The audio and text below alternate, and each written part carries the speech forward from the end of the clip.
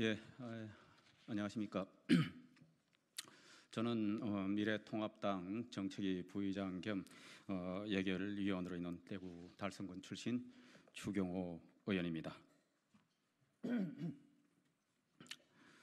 오늘 어, 제가 말씀드리고자 하는 주제는 최근 집중호우로 어, 수해를 입은 지역 주민에 대한 어, 피해 지원과 관련된 부분입니다. 정부 여당은 집중 호우로 인한 음, 수해 지역에 신속하고 충분한 지원에 나설 것을 촉구합니다. 특히 현재 자녀 재원이 3천억 원 이상이나 되는 어, 재난 특별 교부세를 활용해 수해 지역에 긴급 예산을 즉시 지원하고 재난 지원금 지원 기준도 현실에 맞게 대폭 상향 조정하라 하는 취지의 말씀을 드리겠습니다.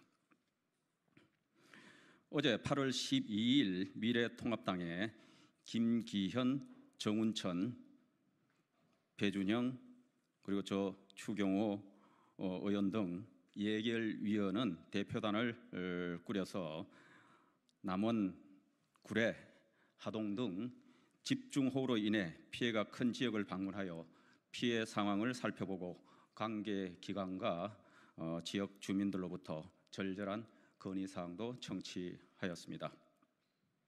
이번 수해로 주택 파손 등 생활 터전이 붕괴된 것뿐만 아니라 농경지, 축사, 상점과 공장 등 생계 터전 자체가 사실상 붕괴 수준의 피해를 입은 것으로 파악되었습니다.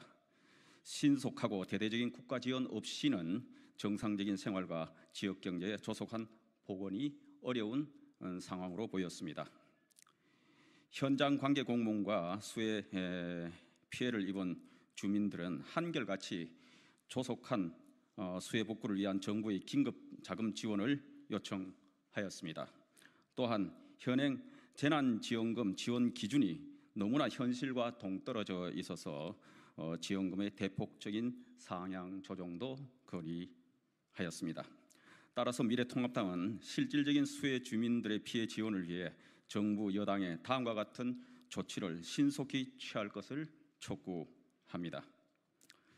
첫째, 현재 3천억 원 이상 남아 있는 재난 특별교부세 재원을 활용하여 수해 피해 지역에 신속하게 지원함으로써 한시가 급한 생활 터전의 복구와 지역 경제 복원에 필요한 긴급 자금으로 즉시 활용될 수 있도록 해야 합니다.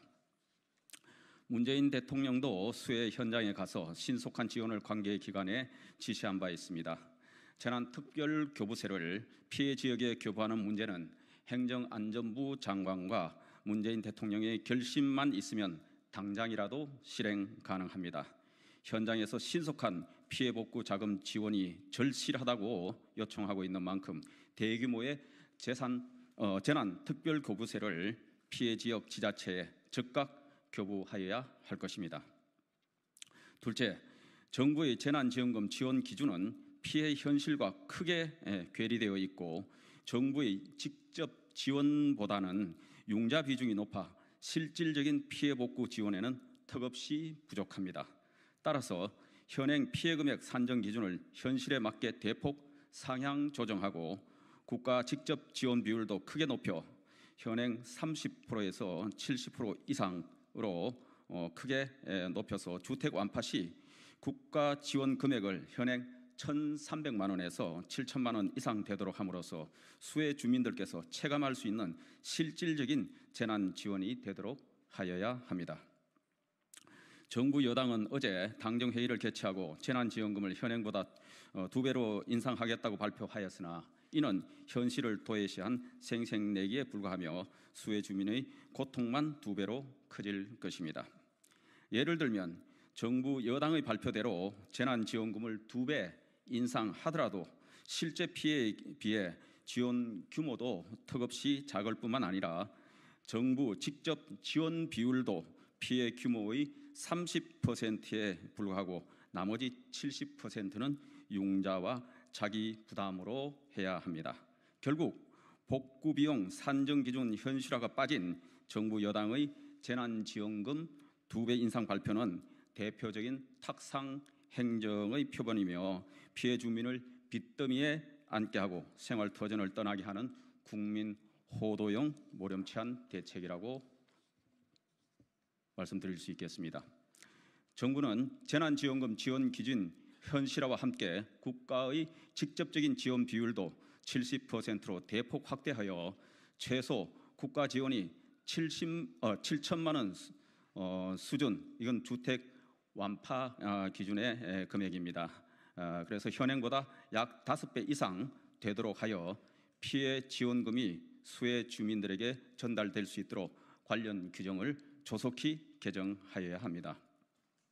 또한 피해 품목별 단가의 평균 30 내지 35% 수준에 불과한 농작물, 가축, 농림시설 등에 대한 피해 지원도 실제 피해액에 상응하는 수준으로 현실에 맞게 조정하고 국가 지원 비율을 70%로 인상해 실질적인 피해 지원이 되도록 하여야 합니다.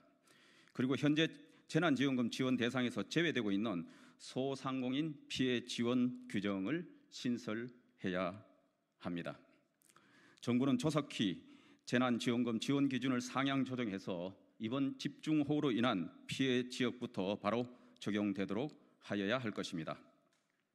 정부 여당은 실질적인 재난 피해 지원 확대 등을 위해 추경 예산 편성도 적극적으로 어, 추진하고 추경 재원은 국채 발행 등 빚내서 조달하기보다는 540조가 넘는 기존 예산의 지출을 재조정해 마련해야 할 것입니다.